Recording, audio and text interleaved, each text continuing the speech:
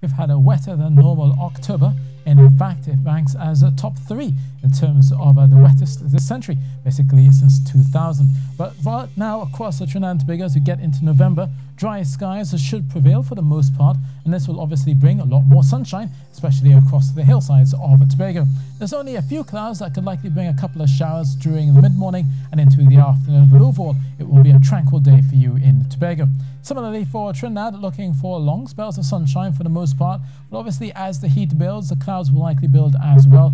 There's a slight chance of a few showers that could turn heavy or thundery, but overall we should be looking at a mostly dry weather as we go through midweek for Trinidad and the Tobago.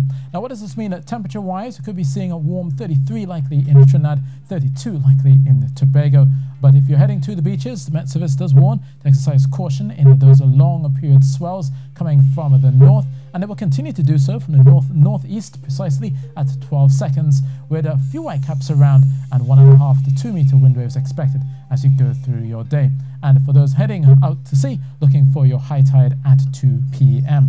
Now, for the rest of the week, it seems as though mostly settled, tranquil weather is likely. The dry air will continue to be a factor, and the ridge will also put a cap on most of the rain clouds.